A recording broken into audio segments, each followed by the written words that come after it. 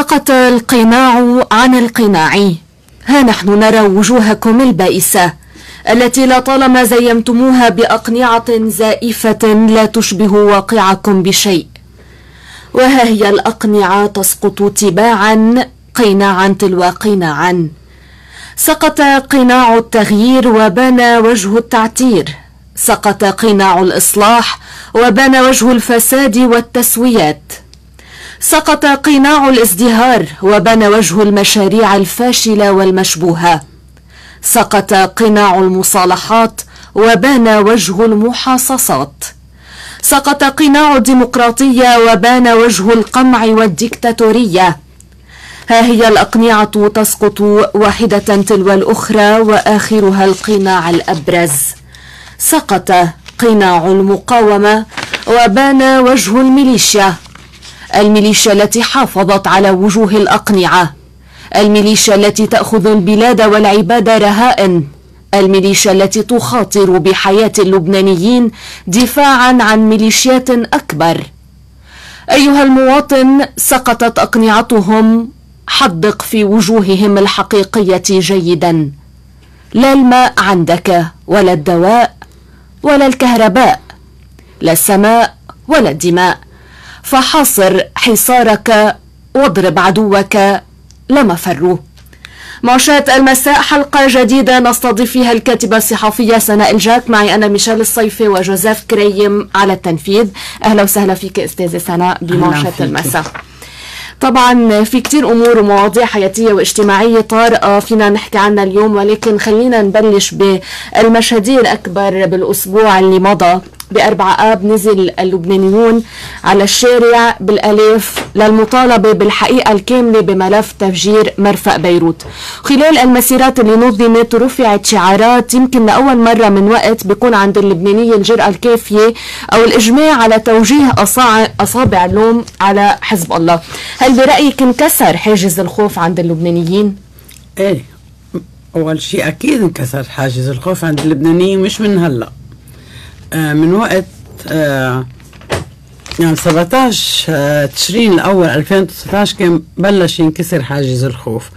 انفجار أربعة آب أكيد انكسر كل شيء بس بأربعة آب 2021 مش انكسر حاجز الخوف تكرست القطيعة. يعني صار على هذه السلطة. تروح تشوف شو بدها تعمل لأنه الناس في مكان آخر. الناس عم تتصرف على أساس ما في سلطة. ناطرة لتجي انتخابات لتنتج سلطتها. مؤمنة إنه هيدي الدولة المتحللة المتفككة ما لهم عليها فيها. تركين الدولة بوادي عم تشتغل بطريقة غرائبية عجائبية ما إلها طعمة ما ناطرين منها شيء. وهيدا أخطر ما يمكن لسلطة أن يعني تتعرض له وهو أن الناس لا علاقة لها بها. يعني اليوم بدأت تظهر أكثر وأكثر ممارسات المنظومة آه، الحاكمة وممارسات حزب الله واحتمال أنه يكون لهم إيد بهذا الملف. كرمال هيك الناس نزلت على الشارع وحكت بصوت عالي ووجهت أصابع اللوم. من أول يوم الناس وجهت أصابع اللوم.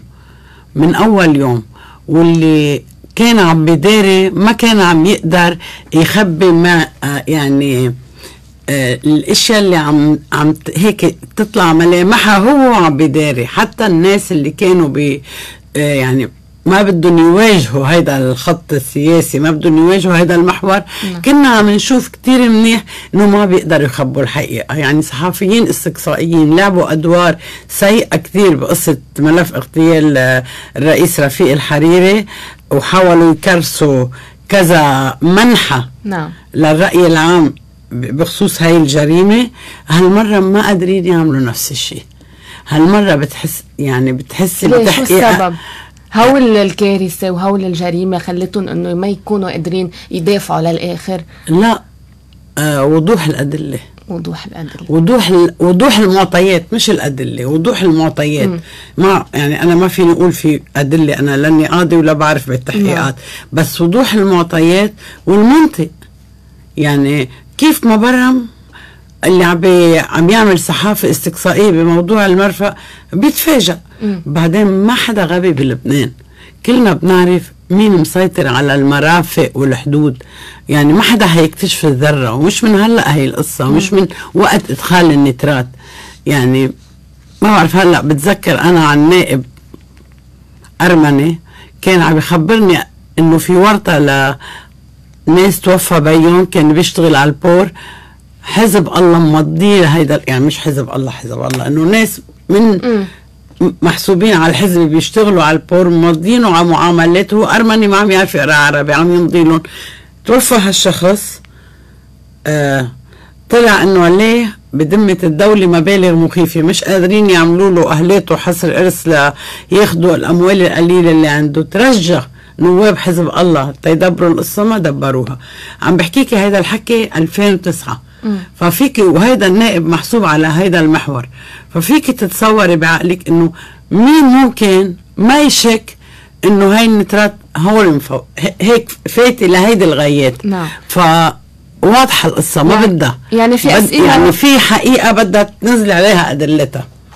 في أسئلة وجهت آه، بالمباشر آه، بأربعة آب لحزب الله. ومن بينها هل حزب الله حول العنبر رقم 12 لمستودع متفجرات بالتواطؤ مع الدولة اللبنانية؟ وهل كان عم بيزود النظام السوري بالنيترات ليحولها إلى براميل متفجرة لرمي على رأس شعبه؟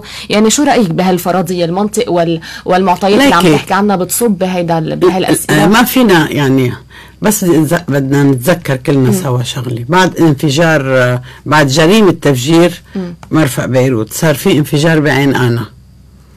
نتذكر ما حدا قدر يعرف عنه شيء. بأربعة آب أو بثلاثة آب انعملت حلقة تلفزيونية. أو بأربعة آب. نهار, نهار أربعة آب. انعملت حلقة تلفزيونية على الام تي في تحديدا.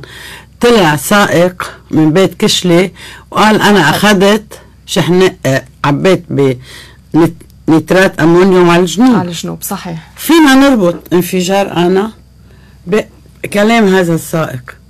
يعني كلنا عم نشتغل تحقيق وأدلة وما بعرف شو من ورا هي إيه في في كل يعني واقع موجود إنه ما حدا ممكن يقدر يفوت هيدي الأشياء ويعمل هاي الأشياء إلا حدا عنده هاي السلطة اللي عنده إياها حزب الله.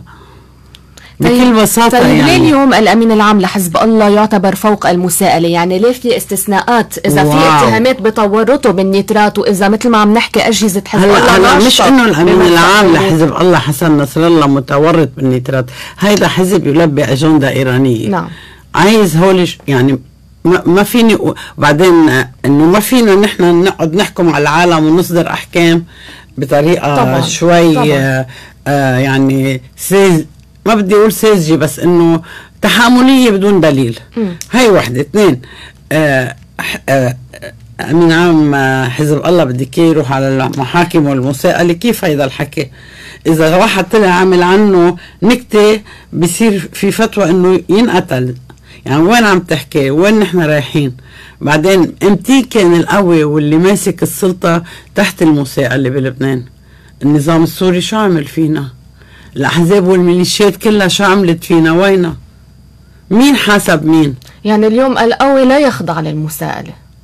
مش اليوم في كل زمان وكل ومكان. وكل زمان ومكان. إيه. واليوم تحديدا حزب الله غير خاضع للمساءلة بأي هلأ- موضوع من المواضيع. هلأ في شغلة بدي أقول لك إياها.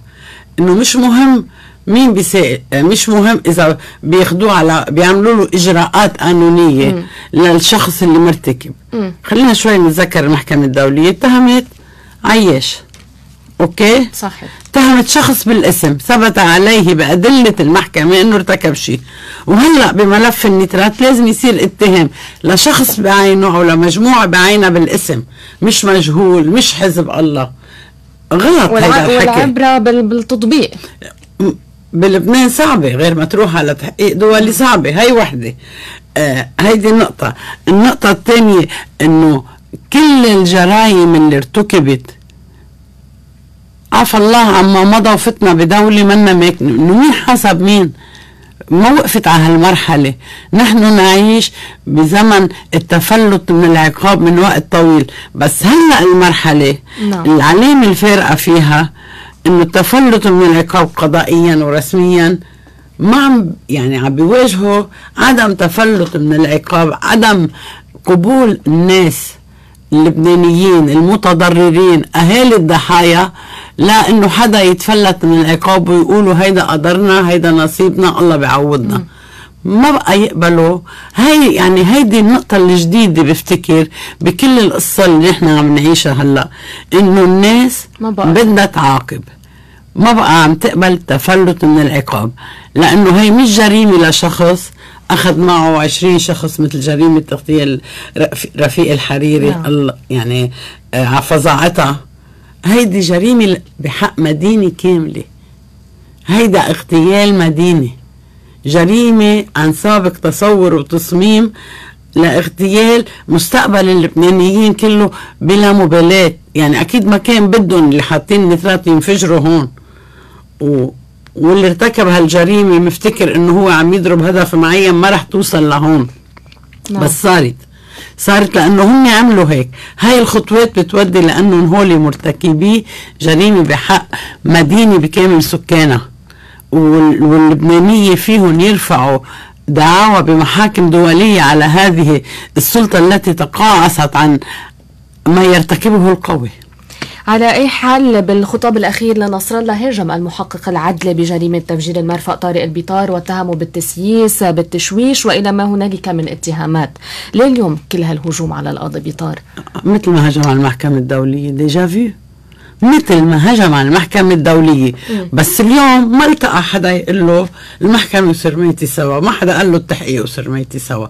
عم بقول لك في خشية ما. يعني ولا حدا عم يسترجي يغامر بالانحياز الأعمى للمحور. هي ما كنا نشوفها.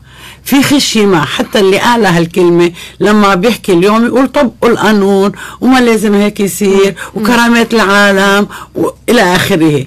ما وصلوا لمرحلة يعملوا اللي عملوه وقت جريمة اغتيال رفيق الحريري. أنا كتير يعني عم تحضرني هيدي الصورة إنه قد إيه في خشية قد ما اللبنانيين كلهم متضررين. نعم. يعني ما في ولا رجل سياسي يتبنى موقف حزب الله هلا الرافض للتحقيق الدولي واللي نحن يعني إذا بنتابع خطابات حسن نصر الله بنلاقي إنه هو من الأول انه روحوا شوفوا شركات التأمين. مزبوط حادث ومرق بيدوه عن الإرهاب روحوا قبضوا مصاري وناموا بالبيت. طوها. ما انطوت حتى وصل لاتهام القاضي بيطار أنه هو متواطئ مع شركات التأمين. هو اتهموا أكثر شيء إنه مسيس. نعم. وإقالة القاضي صوان كانت بتضحك إنه بيته بالأشرفية ومتضرر. هل اللي صار مع القاضي صوان رح يرجع يصير مع القاضي بيطار برأيك؟ رح يتم إبعاده إحالته عرقلته؟ التحدي كبير. آه ما بفتكر آه رح يصير هيك. رح يصير أحداث شنيعة بعد بالبلد ليغطوا على التحقيق اللي ماشي هلا. الوزير السابق أشرف ريفي رد على خطاب نصر الله وقال كاد المريب أن يقول خذوني. كما قال سابقا بمسألة وقالها لي بمسألة مقتل وسام عيد إيه الم... مش كاد قال المريب خذوني. أنا بزيد عليه لمعالي الوزير أشرف ريفي. قال المريب خذوني. يعني اليوم في انقسام بين اللي بيعتقد انه لائحة النواب اللي مضوا العريضة التي قدمت لإحالة التحقيق إلى المجلس الأعلى لمحاكمة الرؤساء والوزراء بأنها لائحة الشرف. وفي ناس اللي هن ثلاث أرباع اللبنانية بيقولوا انها لائحة العار. نص مجلس النواب بقول انها لائحة العار في انقسام حتى بالمجلس وشفنا. يعني شو توقعات جلسة وما؟ حدا قال لائحة الشرف إلا حسن نصر الله لأنه ما بده حدا يتحاكم. وليه ما بده حدا يتحاكم؟ لأنه الهيئة هيدي القصة مثل حجار الدومينو. ينفع بلشنا مع حدا رح يكروا على الكل. وهيدا بفتكر الخوف. يعني بنوقف التحقيقات من هون قبل ما توصل لمحل أبعد وأخطر. لا لما بتبلشي تحاسبي مسؤول. مم. فيكي ساعتها تحاسبي كل المسؤولين ما بدهم هيدي السابقة. ما بدهم هيدي الحادثة تصير. هن بيحاسبوا مسؤول إذا زعجهم بالسياسة إذا وقف لهم مشاريعهم إذا تضارب خطوا مع استراتيجيتهم. بيقتلوه هيك بيحاسبوا كانوا. هلأ ممنوع تحاسبي مسؤول. إذا حسبتي مسؤول بتحاسبي غيره غيره غيره وبتكرر للحل وال... وما جرى في المرفأ من اللي عم نقراه بالنسبة للت... الرسائل والتحذير وصولا ل آه، رئيس الحكومة ال- هلأ المستقيلة مصرف الأعمال اللي مع إنه حدد الوقت ما راح ما بعرف ليه ما راح وصولا لرئيس الجمهورية اللي اليوم بس شاطر يجمع مجلس الدفاع الأعلى. ما قال له لحدا بمجلس الدفاع الأعلى فوت حل لي هالقصة قبل ما تنفجر؟ ما كان فاضي. في مهزلة بالبلد. فأي تحقيق مع أي مسؤول رح يوصل للآخرين. وإذا وصل للآخرين سيأخذون المريب. نوصل لنفس النتيجة. يعني شو التوقعات بجلسة الغد بعد ما تقريبا يعني كثير من الكتل أعلنت مقاطعتها للجلسة وكثير من النواب المستقلين كمان المستقلين أعلنوا مقاطعتهم إذا طلع إذا قدروا ما يخلوا النصاب يكتمل تلغى الجلسة معروفة. وإذا ما ألغيت الجلسة كان في نصاب مكتمل آه من فولكلور بلا طعمة. وإذا عملوا هيدا يعني, يعني اليوم في إصرار برأيك إنه ينسحب الملف من إيد القاضي بيطار ويتحول للمجلس الأعلى لمحاكمة الرؤساء والوزراء؟ هلأ هن بدهم يحاولوا يستعصوا على التحقيق إذا قدروا. وإذا ما قدروا شو؟ يعني أنا ما عملت حساباتي قبل ما أجي لأشوف مين كيف ممكن نكتمل النصاب. يعني إذا بنعمل حساباتنا فينا نحدث شوي م. إذا بيكتمل النصاب. يعني هلأ عندنا تيار المستقبل. بعده آه الموقف تبعه ملتبس بعد ما قال إذا رح يحضر أو ما رح يحضر. ما كان مضطر يعني هيدي جواز هيدي الخدمات آه، الضارة اسمها. ما كان مضطر يوقف الموقف ابدا. عندك تيار المستقبل آه كتلة التنمية والتحرير آه آه كتلة الوفاء للمقاومة. والمرضى. والمرضى والقوم السوري هو هن بيعملوا 59 بدنا ننتبه يعني بس بدنا نشوف. حتى يعني في أهالي الشهداء والمتضررين توعدوا بكرة إنه اي نايب بده ينزل على الجلسة أنا بتمنى بتمنى يمنعوهم بتمنى حتى. يعني آه، لوحوا باستعمال العنف هالمرة إنه يعني لما بتشوفي خيو ل شو اسمه نون؟ شو؟ جو نون الشهيدة جو نون خيو ويليام نون. خيو ويليام. بتقولي إيه هيدا بيشرب دمهم؟ هو واقف إذا بدهم يضيعوا له حق خيه. هيدا اللي ما شفناه حتى ب بجريمة يعني مع الأسف بجريمة اغتيال حنين راحت كلها بالسياسة مع أنه كان في أهالي متضررين كان في أصحاب أملاك متضررين. ما وقفوا اللبنانيين يعني اللبنانيين كانوا اكتفوا إنه ظهر ظهر النظام السوري بعدين رجع بلش البازار السياسي اتفاق رباعي وقرف وجاي وكفينا فيها. وعم نحصد نتيجتها هلا. نعم. بينما بهيدي الجريمة اللي إجت بعد 17 كمان هون بدنا نعطي فضل لحركة 17 تشرين 2019 اللي إجت والعالم ديجا محضرة حالها لرفض كل هالطبقة السياسية كل هالمنظومة. كيف من بعد هيك جريمة؟ ما بعد هي يعني هيدي الحر... الوضع الشعبي رفض قدرة الأهالي لحتى يواجهوا وهن يعني قد ما كان عددهم حتى يقدروا يواجهوا منظومة يقدروا يحققوا عليها نقاط. وقلت لك صار في قطيعة بين اللبنانية وبين غالبية الأحزاب ما بدي أقول كلها. والأحزاب اللي طلعت من المنظومة بعد عندها بالانتخابات مطهر وإثبات إنه هي فعلا ما بقى لها علاقة بالمنظومة لحتى يقبلوها هول الناس اللي ما بقى بدهم حدا من رواسب هيدي المراحل اللي هي كلها آه يعني اللي فقرتهم اللي قتلتهم اللي عم تعمل اللي عم تبيد لبنان. برأيك آه، الكتل اللي أعلنت آه، مقاطعتها لهيدا الجلسة موقفها هيك آه، منيح ولا هي مطالبة بالأكثر اليوم؟ لا أنا بقول لازم يستقيلوا مجلس النواب بس ما هو ما في صفاء بهيدا العمل. يعني بين القوات وال والتيار ما في صفاء. يعني القوات عندهم مواقفهم بنعرفها أوكي. بس تحسي في نوع من المزايدات. يعني والتيار روح شوف شو صار بلوا آه، تحقيق دولي قبل ما تقولوا ارفعوا الحصانات لأنه ما لكم علاقة ولا نائب يعني لا في لهم علاقة بمكان أو بآخر. يعني رئيس الجمهورية بكفي. إنه شو هالمزايدات؟ يعني ما كثير أنا بعطيهم بونبوان يعني اليوم على الاستقالة مطلوبة منهم ليكونوا هن على عم بيأكدوا لنا إنه هلأ إذا استقال التيار وضول عشرة ما حدا مصدق شيء بيعملوا. بيكون كمان يمكن أنا ما بصدق بس إنه القوات كان فيهم يعملوا أحسن.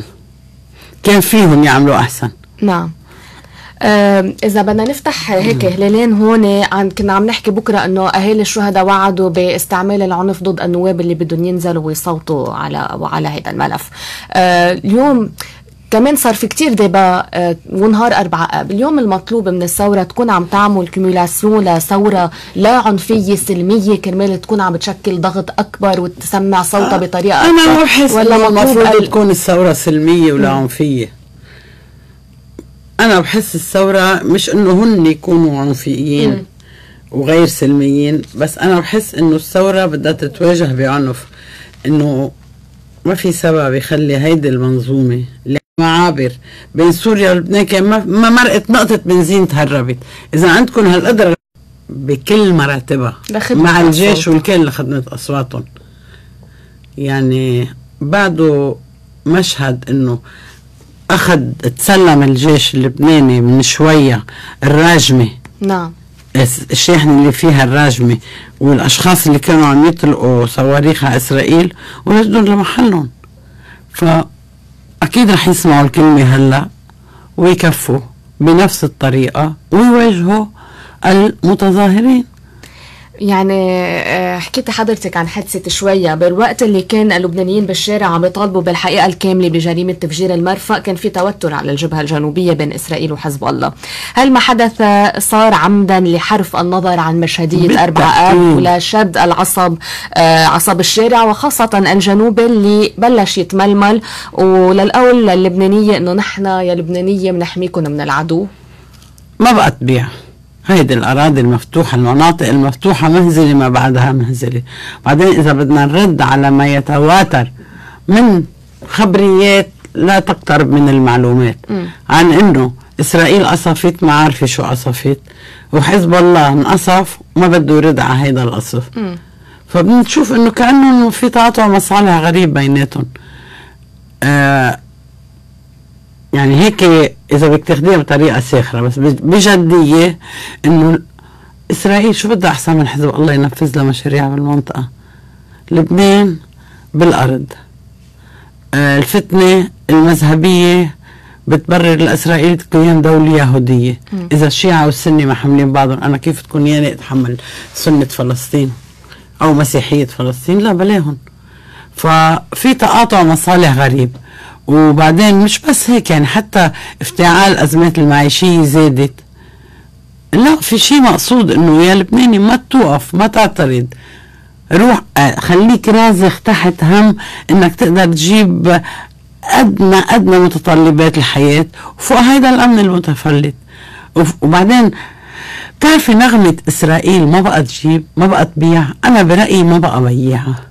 يعني نحن والعدو إنه فكري فيها إنه لما بيقول آه المفتي الجعفر الممتاز إنه آه تبييض الإرهاب الصهيوني. نعم. لك ما مسودين معيشتنا أي مقارنة للبناني بين تبييض الإرهاب الصهيوني وما يجري له؟ بخليه يقول والله اوقات تج ومواقف صعبة بتقول كفرت بخليه إيه يكفر ب العداء لأي حدا مقابل كرامته بالحق وحقه بالعيش. يعني هن ليه عم بيوصلوا العالم؟ لنفس تجربة منظمة التحرير الفلسطينية. لما آه، فاتوا الإسرائيلية على في ناس رشوا عليهم ورد. مش لأنهم عملاء لأنهم كانوا عم بيعانوا الأمرين من تجاوزات منظمة التحرير الفلسطينية. فأنتوا ليه بدكم توصلوا العالم لمرحلة مين ما كان يجي ينتدبنا ما عم بحكي عن العدو الإسرائيلي. مين ما كان يجي ينتدبنا أحسن منكم. ليه عم توصلوا العالم لمرحلة يجيبوا لنا مدير جيد ليدير هالبلاد؟ مش أنتو. ما بقى في قيمه بهالطبقة. يعني اليوم خوض مغامرة عسكرية جديدة نتائجها رح تكون أكثر من كارثية ومدمرة على لبنان. شو مصلحة لبنان يكون عم بيقحم نفسه بهيك مغامرة؟ ونصر الله قال كمان بخطاب الأخير أنه ما حدا يتحجج بالوضع الاقتصادي. إذا إسرائيل دقت الباب بدها تسمع الجواب. أولا هذا كلام ليس دقيق. هذا الكلام ليس دقيق. نصر الله لا يقوم بحرب مع إسرائيل إلا بناء على ما تتطلبه أجندة المحور الإيراني. وليس لأن إسرائيل اعتدت. إسرائيل عم تعتدي علينا كل يوم. إسرائيل عم تخرق أجوائنا كل يوم. إسرائيل عم تتصيد غنائما كان الإيرانية ولا اللبنانية من حزب الله بسوريا كل يوم. عم ترصد كل شاحنة كل قافلة أسلحة ما بيعجبها كل مواقع تخزين سلاح. إسرائيل تعتدي علينا. م. كل يوم. ولكن هو وتستبيحنا كل يوم. ولكن عندما يقوم حزب الله بأي مواجهة فعلية مش صورية مع إسرائيل يكون ذلك خدمة للأجندة الإيرانية في ظل تعثر المفاوضات بين الولايات المتحدة وإيران. في ظل محاولة استخدام لبنان وجبهة الجنوب ورقة لحتى يحسنوا الإيرانيين مفاوضاتهم مع الولايات المتحدة ووضعهم مع المجتمع الدولي. يعني بعد هالمناوشات اللي صارت الطرفين قالوا إنه رح يلتزموا بالتهدئة، هل فعلا سيتم الالتزام بالتهدئة؟ إلى حين إنه إيران ترجع تطلب ليكي هلأ في اجتماع أمريكي إسرائيلي في مسؤول أمريكي وزير الدفاع الأمريكي يمكن بإسرائيل. في حدا؟ آه بإسرائيل لبحث هيدي مواضيع آه استخدام آه يعني وضع الحدود وقصة آه إيران والسفن اللي عم تتعرض ل آه قصص يعني كل هيدي الشغلات. وإيران عندها هلأ ضغط آه، ما كانت متصورته يعني هاي المحاكمة اللي عم تصير بستوكهولم لأحد آه، يعني مساعدي رئيسي مساعدي خامنئي بإعدامات ومقابر جماعية وكل هذا الحكي. جنابي نسيت شو اسمه. مهم فهيدي كلها بدها بدها تنفس بمحل بدها تنفجر بمحل لترتاح إيران أو لحتى تتحرك المفاوضات أو لسبب أو لآخر. أو لحتى الأمريكان يقدموا خطوة ما باتجاه ما هم راسمينه. كله على حسابنا. إيه. يعني حادثة شوية ورفض أهالي شوية أنه يكونوا عم ياخذون رهائن بشرية. سرعان ما حولوها لقضية عمالة وتخوين وقضية طائفية. يعني كمان حادثة خلدة كمان حولوها لقضية طائفية بين الشيعة والسنة. ليش كل شيء بلبنان جاهز أن يعلب طائفيا؟ و... إيه ما عندهم مشكلة. لأنه شو بدهم يقولوا؟ أكلنا قتلة وسكتنا؟ ما تنسي إنه حزب الله أهم شيء عنده ما تكسري له هيبته. هو قائم على إخافة الآخرين وليس على التفاهم آه، مع الآخرين. آه، أكبر مهرب مخدرات بالعالم بابلو إسكوبار بيقول شغلة بفيلم. عاملينه عن حياته. بيقول إذا ما حبك الناس خليهم يخافوا منك. حزب الله بالأول حبوا الناس. هلأ بطلوا يحبوه. لازم يخافوا منه. ما عنده حل تاني.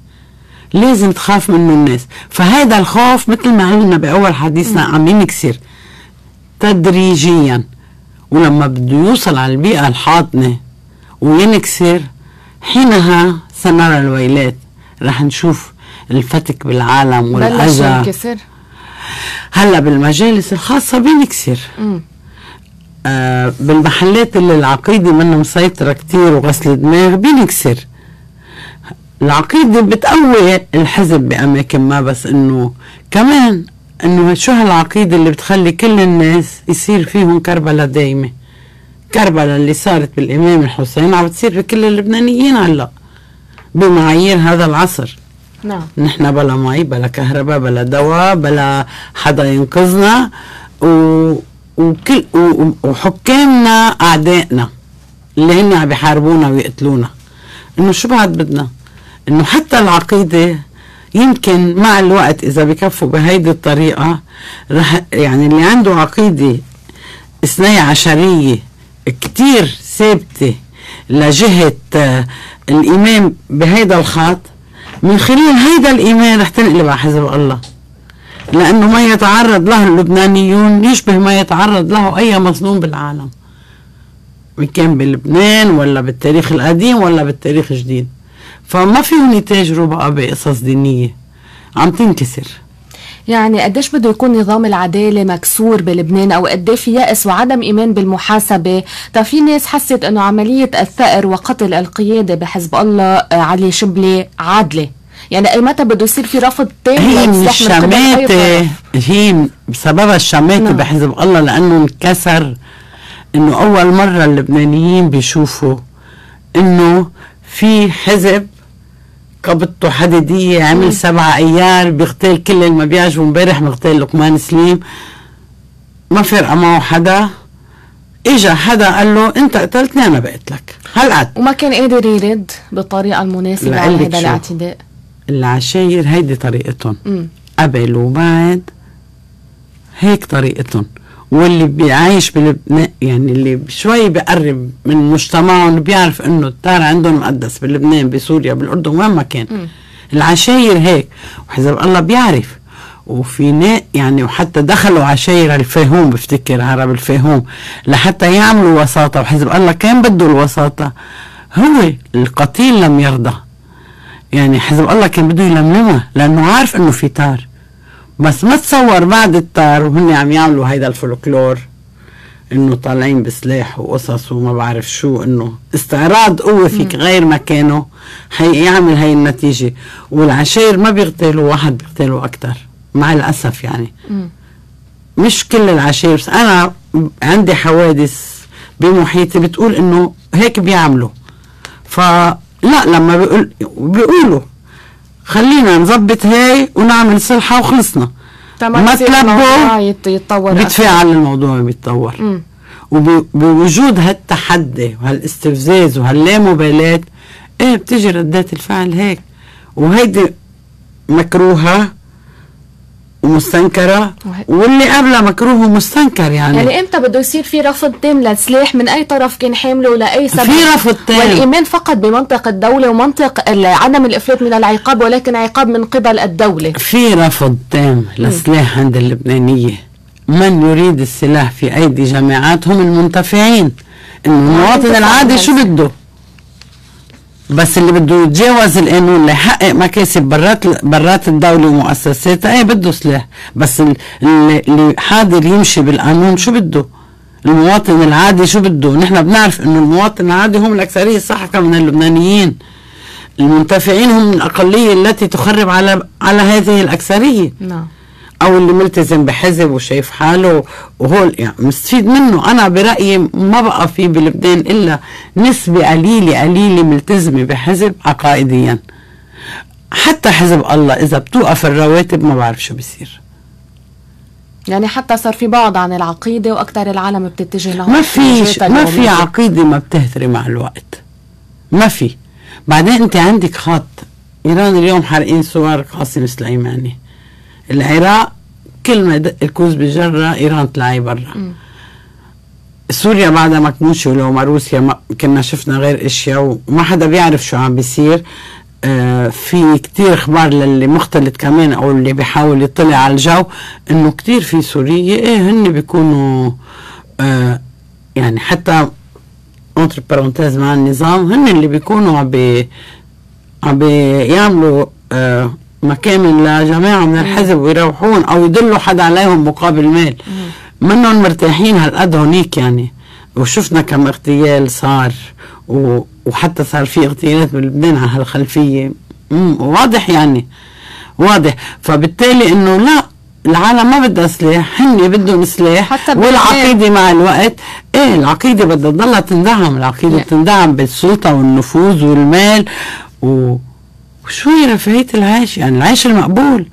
فيك بدك عم بدك ت- تروح تناضل وتحارب وتقاوم. على القليل بدك بدك تكون مش مشغول بالك ابنك إذا مرض ما في حبة دواء.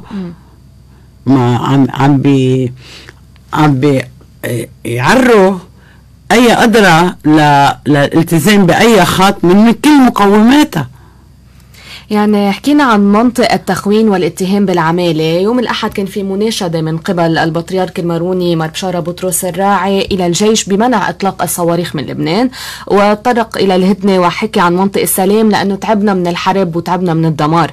طبعا سرعان ما شنت عليه حرب واسعة راعى العمالة راعى الاستسلام راعى الانحياز وكل هدول التعابير. شو رأيك اللي طالب فيه الراعي شيء غير مشروع؟ رأيي إنه كل هيدا علامات ضعف حزب الله. هيدي الحملة.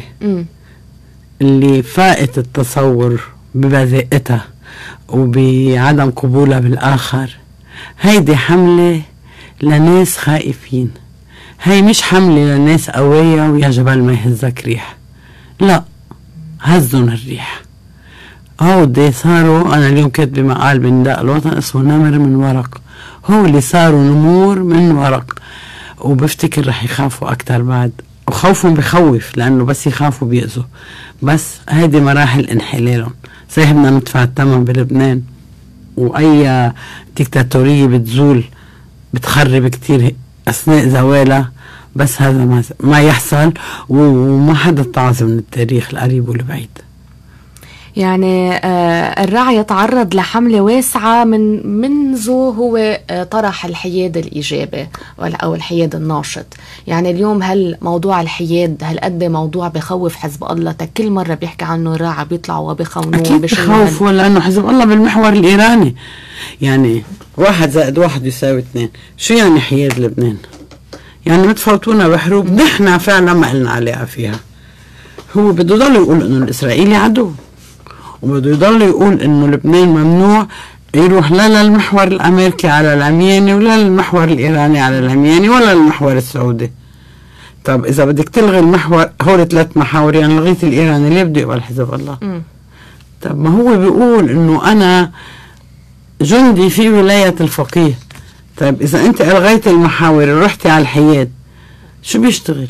شو بيشتغل حزب الله يعني بيبطل في مبرر لوجوده أو بصير بده يعمل عن جد بس حزب مثل كل الأحزاب بده يعزي ويهني ويقدم خدمات وبس ويشتغل شوي بالتشريع البلطعم اللي بيشتغلوا في مجلس نوابنا العظيم بس. شو بيعملوا هن؟ كرمال هيك هالقد موضوع الحياد موضوع بخوفه. أكيد. أي حياد باي شيء ببث ارتباطه اللصيق والوثيق كونه جزء من من هو جزء من المحور الإيراني هو مضبوط جندي في ولاية الفقيه. هو حزب الله ليس لبنانيا اللي فيه لبنانيين بس هو ليس لبنانيا. هذا حزب إيراني في لبنان بشخصيات لبنانية وبأفراد لبنانيين وبس ولا رح يتغير لأنه مورده منه. هلأ اقتصاده صار يعني هو بغذي هذا المحور ويتغذى منه. فبهالصيغة كيف بده يقبل أي حياد؟ كيف بده يقبل أي حياد؟ بعد بكير. يعني وبعدهم قادرين. يعني نح يعني المطالبة اليوم للحياد هي مطالبة غير منطقية لأنه ما معقول. لا بالعكس لازم كل يوم نطالب فيها. لازم كل يوم نطالب فيها. ونحن يعني نحن بالمعطيات الموجودة بالبلد بنعرف إنه مش هلأ رح تخلص القصص. مش إذا ظهرت مظاهرات مش إذا طلبنا برفع الحصانات مش إذا قلنا بزوال الوصاية الإيرانية والاحتلال الإيراني عن لبنان مش إذا طلبنا باستقالة عون بعده طريق طويلة على طول زوال الدكتاتوريات دايمة على الشعوب. فبعد عنا كتير يعني نحن نعيش في ظل ديكتاتورية أكيد لما مين بيتحكم بهيدي الديكتاتورية حزب الله من خلف المحور الإيراني. لما بيطلع بيعطي أمر مهمة وآخر شيء كلمتين على الحكومة. خل هالقد عطى وزع الدنيا كلها خون. وعطى شهادات بالوطنية. وقال كيف لازم يصير التحقيق. وصار قاضي وجلاد. واللي بدك إياه. وما اضطر للناس اللي ما عندها أكل بدها هاي مش ديكتاتورية. شو في أكثر من هيك ديكتاتورية؟ منطق تحليل الدم كل مين بينتقد حزب الله وسلاحه بيطالب بلبنان وبالسيادة اللبنانية؟ ما صار منطق خطير وخطير جدا؟ هو في منذ لكن منذ 7 أيار 2008 هو خطير. وسوء تصرف الطبقة السياسية حيال موضوع 7 أيار وصلنا لهون. الاتفاق الرباعي وطاولات الحوار من وقتها ونح والطبقة السياسية عنا عم تعطي حزب الله نقاط ومكامن قوة آه، يتحكموا فيها بالبلد. مفاتيح القوة للبلد. سبع أيار. لو وجهت بغير هالطريقة كما وجه آه كما وجهت جريمة اغتيال الرئيس رفيق الحريري ما وصلنا لهون. سبع أيار. لو صار في عصيان مدني ورفض لما حصل وبس مظاهرات لنساء بورود بوجه حزب الله وسطوته. ما كنا وصلنا لهون. بس نحن لما بن يعني لما هي الطبقة السياسية صارت تتنازل تتنازل تتنازل صارت كلها تحت سيطرة حزب الله بالكامل. هو عم بكفي. بس عادة الشعوب يعني ما في يعني ما في واحد يضبط شعب. هلأ الطبقة السياسية كلها تحت حكم حزب الله. مدجنة. متحكم فيها. كانت محل زي التنازلات اللي عملوها آه، آه، الأحزاب السياسية كرمال حزب الله كرمال المكاسب اللي أعطوها إياهم أو الحماية اللي أمنتها. إيه بالنسبة لهم أكيد محل أكيد. لأنه شو بيعملوا منا هلا؟ رفض شعبي كره شعبي هن ما حسبوا هيك هن حسبوا هن بياخذوا النفوذ وحزب الله بياخذ السيادة. وكانوا عم يتنعموا بنفوذ البلد وبعدهم عم يتنعموا بما تبقى من نفوذ البلد. وبعدهم طامحين ليتنعموا يعني هن شكرا تبقى عملوا؟ حكومة وإجت مساعدات بيسرقوا نصها. بعدهم بعد المسيرة ماشي بعدهم عم بيتخانقوا وزارة الشؤون الاجتماعية لما بدها تيجي مساعدات. واحيين واحيين يعني ما فارقه معهم بعدهم بدهم يتنعموا بعدهم بيحكوك يعني لما أنا بقرأ شو بيقول جبران باسيل عن الكهرباء وأسبابها ولو اعطيتوه ما اعطيوهم ليه ما صار شيء لما بشوف مبنى شركة الكهرباء كارثة لما بشوف إنه أصحاب المولدات الكهربائية يحتاجون أكثر من كارثة. يعني كنا نقول نحن بندفع للشركة وللمولد و... و... هلأ صار بدك وسيلة آه، يعني فاتورتين كهرباء بدك وسيلة ثالثة لتحصلي على إضاءة مزبوط إنه إنه أكيد استفادوا. يعني واضح. إنه كتير استفادوا. واللي ما استفاد آه، مباشرة بالفساد استفاد بالسلطة والنفوذ. أو عنده طموح بده يعمل رئيس جمهورية بده يعمل آه يعني بده يحقق مكاسب بالسلطة والنفوذ بده شيل هيدا خدني أنا أحسن منه. يعني واضحة كل كل وسائلهم وبعدين يعني ال- المنفر إنه بيجي حدا من خط سياسي معين بيقدم حاله بديل. بتقلب بيرجع بينقلب على مواقفه. الناس قرفت قرفت من كل هيدي الطبقة السياسية بكل ما فيها. عن جد اللي يحترم حاله هو اللي انسحب من كل هاللعبة.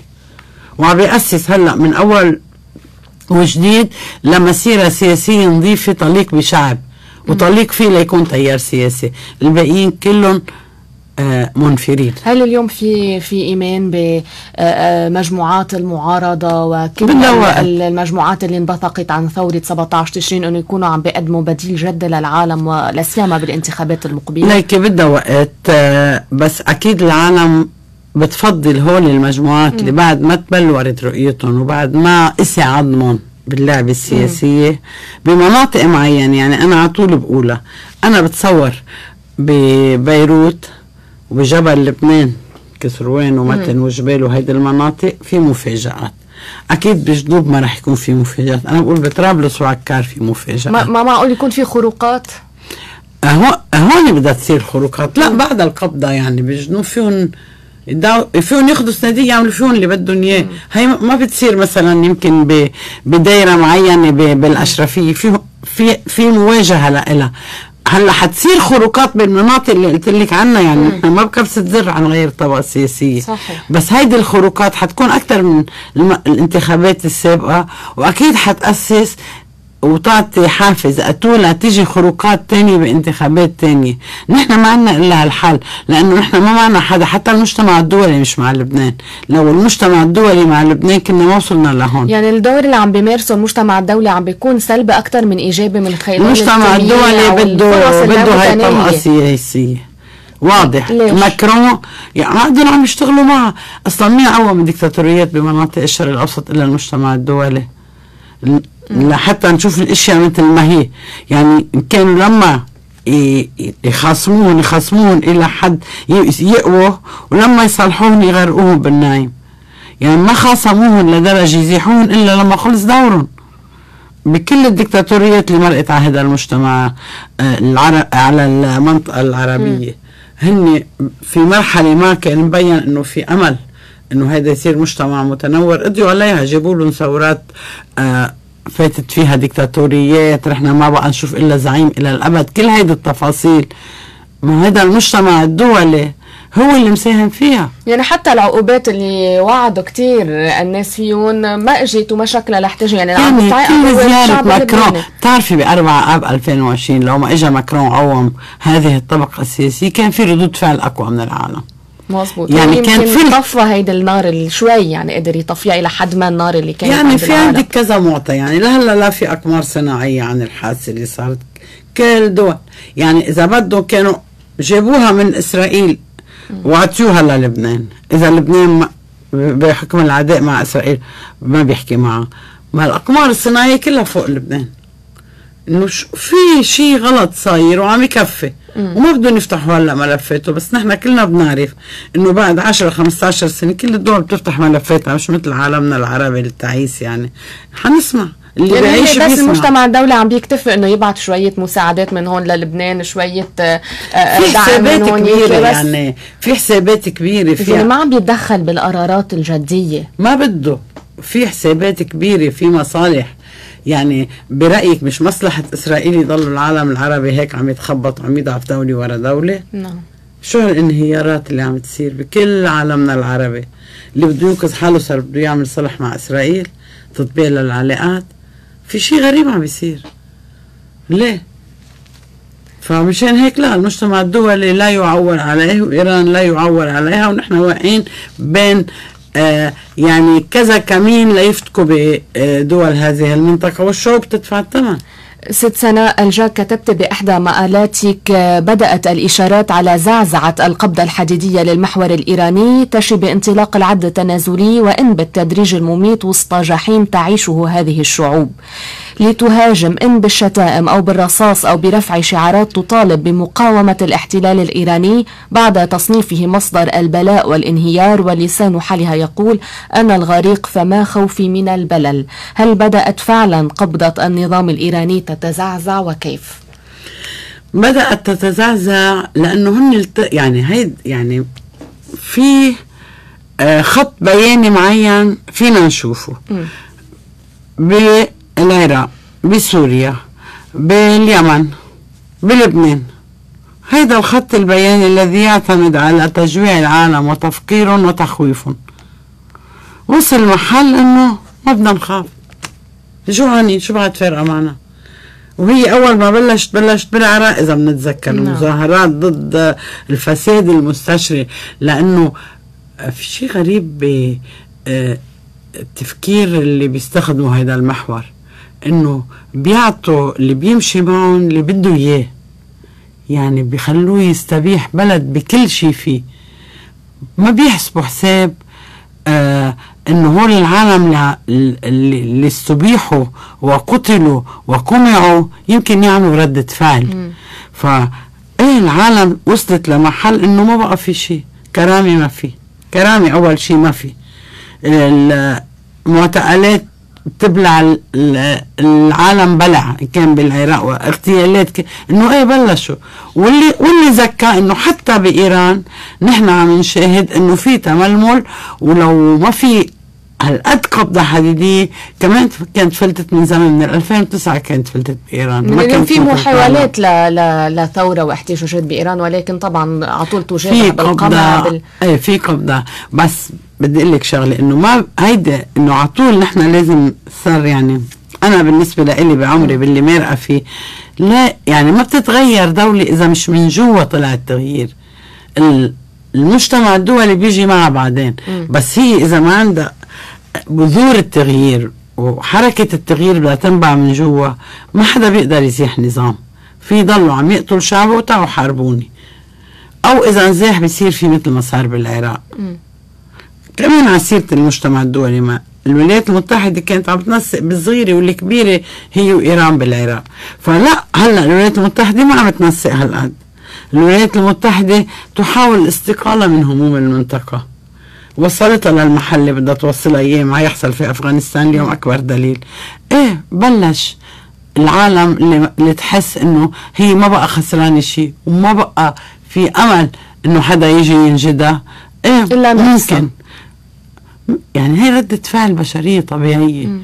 إذا واحد بيجي تيخنق حدا ما بإيده بحط إيديه بعيونه. هاي ردود فعل غريزية عند الإنسان. يعني وصلوا العالم لردود الفعل الغرائزية. إنه إيه ما بتمر من هون آه راجمة الصواريخ. يعني كل واحد عنده شجرة زيتون بيفديها بروحه. بدك تيجي تجيب له عصف لو مناطق مفتوحة.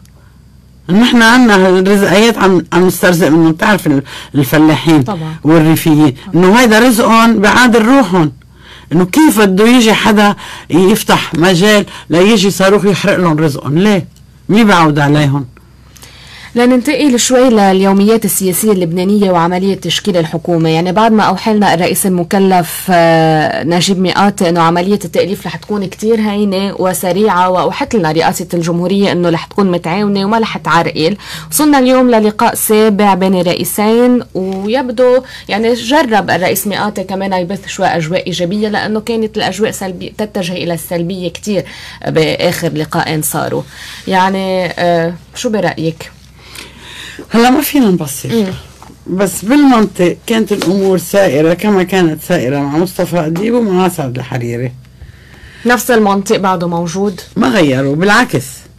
إذا لقوا إنه لين الرئيس مئات بدهم يطلبوا أكثر هلا مطالبهم عم بتزيد حسب م. الظروف وحسب ما أول شيء أول شيء أنا عندي رأي بعده لهلا. أرجح من غيره أنه عندما يريد حزب الله أن تتشكل حكومة تتشكل حكومة. ولكن هذه الحكومة تتشكل كمان مثل ما كنا عم نحكي بما يسمح لحلفائه أن ياخذوا امتيازاتهم وحصتهم من الفساد على نسبة أكبر. هو ليبقوا حلفائه وحزب الله بدون الغطاء المسيحي يخسر كثيرا. فهو بحاجة لهالغطاء المسيحي يلي بين عن جدارة إنه جبران باسيل بيقدر يعطيه. برغم الخلافات اللي بتصير بيناتهم. هيدي كلها مسرحيات أنا متأكدة إنه ما في خلافات. في ما يجب أن يفعله جبران باسيل حتى يرجع يشد العصب الماروني والمسيحي حواليه. بس أنا بقول ما في خلافات لأنه وقت اللي صارت قصة شويا اللي بيتابع أعلام ال OTV بيعرف إنه ولا ممكن يكون في خلاف. ود غريب الشكل يعني حاضرين يروحوا يقتلوا أهل شويا كرمال حزب الله بعد شوي اعلامهم كان فما في خلافات. هاي وحدة. اثنين آه آه بده إذا بده حكومة حزب الله هلا وأنا بشك بعد بكير. يعني تقولين إنه كلمة السر لا تزال في علم الغيب. لا تزال لدى حزب الله مش مش كثير يعني اليوم مش المشكلة بالحصص وحقيقيه الداخلية هلا ما رح يزعل حزب الله إذا إجت حكومة فيها كل شيء مثل ما هو بيتمناها وتريح جبران بيصير على حساب الآخرين. وإذا قبل رئيس حكومة سني بكل هالتنازلات ما رح يزعل. معقول يقبل لمئات يروح معهم للآخر بالتنازلات؟ ما بعرف إذا بيقبل مثلا إنه يجيب سني للداخلية يسميه آه عون. يعني بيكون مسميه باسيل فعلا. يعني بيتحايل شوي. معقول كذا هيك. يعني الرئيس مئات شاطر بالتسويات تحت الطاولة. آه معقول. ما بيستغرب. إذا كان في أمر بتشكيل حكومة. إذا إذا واصل حزب الله لمحل هلأ بده حكومة. بس بعد ما مبين بوادر إنه واصل وإذا تشكلت الحكومة مع تنازلات معينة إيه ما حدا بيزعل. ما حدا بيزعل. بس الحكومة رح تكون شو؟ يعني ولا فعلا رح تبطئ الانهيار اللي حاصل لا لا ولا رح تكون زينة لا ولا؟ لا لا لا. هلأ مجرد وجود حكومة بينزل الدولار مثلا. مجرد وجود حكومة تدار المؤسسات لو بحدها الأدنى. هلأ نحن مؤسساتنا مشلولة. صحيح. يعني بيقولوا لك إذا بدك تجيبي إخراج آل أو سجل عدلي ما في أوراق يعني بوجود حكومة في بديهيات بتمشي في مساعدات تأتي. فبتحرك عجلة بس لبنان بده من جذوره من جذور القضاء على جذور العطل اللي فيه اللي مخليه ما يرجع بلد ولا مؤسسات ولا مقومات دولة. فبعد ما وصلنا لها يعني كنا عم نحكي عن الانتخابات المقبلة. في أمل عند الشعب اللبناني إنه المحاسبة الجدية رح تكون بالانتخابات المقبلة ولكن للأسف في حملة ممنهجة على هيدا الانتخابات إنه ما رح تحمل أي تغيير إنه الممارسات السابقة رح تضل. يعني هل السلطة السلطة السياسية خائفة من نتائج الانتخابات؟ وهل حقا ستحمل هذه الانتخابات التغيير اللي نحن هلأ أول شيء أكيد السلطة آه بتضلها خايفة على مكاسبها وحدة. اثنين الجو العام الشعبي في تجارب سابقة. بتقول إنه ممكن يفلت من إيد الأحزاب. وقلت لك وين؟ إنه إنه اللي اللي بكسروان مين رح يقبل بعد آآ آه، آآ آه، كل هيدي المنظومة؟ مم. مين ما يجي يحسوا إنه هو واعد وفعال رح ينتخبوه؟ واللي طلع ربح حاله. أو بالمتن أو بالأشرفية لا. خصوصا خصوصا ببيروت اللي تضررت من من من صح. جريمة التفجير. هاي وحدة اثنين. آه يعني هاي الحرب النفسية إنه ما في شيء رح يتغير. وما بيقولوها إلا اعلام المحور وسياسيي المحور. والناس اللي بيطلعون المحور يعني محور حزب الله إيران على التلفزيون لحتى يت يقولوا هذا الكلام من المبرمجين خلصنا. واحدة اثنين. هذا إذا جرت انتخابات. إذا على مظاهرة أربعة آب صار في رجمات الصواريخ فإذا في انتخابات ما بتعرفي شو رح يصير. معقولة هي تكون هالانتخابات مهددة؟ معقول كل شيء معقول بلبنان. إيه معقول إنه هلأ يفتعلوا 100 شغلة حتى ما تصير انتخابات. إذا الأجواء بهذا الشكل إيه لأنه بيخسروا اكثريه بمجلس النواب. بتقولي إنه العتمة والعطش والجوع والعجز عن الاستشفاء والتعليم تبقى تفاصيل صغيرة من خطة العمل. هل المخطط للبنان بعد أكثر من هدول القصص اللي عم بتصير؟ يعني على طول بالخراب في أكثر يعني عم بيلهوا اللبنانيين بهالأزمات المعيشية كرمال مخطط بعد بتذكر حكيت مع نسيت مين هو المسؤول بس بخلال الحرب الأهلية. مم. عم بقول خلص إنه شو بعد بده يصير؟ بتذكر قال لي بعد بيصير كتير بعد بيصير إذا بدك حبه دواء ما تلاقي بعد بيصير إذا آه، بدك مي ما في. حاكم مصرف لبنان هلا بجلسة المجلس الأعلى للدفاع أبلغ بالجلسة أنه ما بقى قادر يمول شراء المحروقات. يعني نحن صرنا فترة عم نحذر من الوصول إلى العتمة الشاملة. هل عن جد حان الوقت أنه نحن نكون بالعتمة الشاملة؟ نحن بعتمة.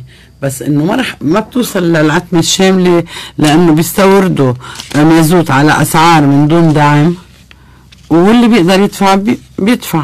نعم. ساعتها شوف الفوضى الأمنية اللي بدها تصير شوف الفوضى الشعبية في تخوف شوف الناس الخوف. اللي رح تهجم على ال- البنايات الانضوية اللي فيها مازوت تسرق لها مازوتاتها أو تحرقها. شوفي بقى ساعتها شوفي لأنه الفقير بيروح بيتكى باللي بيقدر يتكى فيه ما بيروح بيتكى بسبب مأساته مع الأسف. الع... ال- المحتاج والفقير بده يروح يتكى باللي بيقدر يت... بفش خلقه باللي بيقدر يتكى فيه.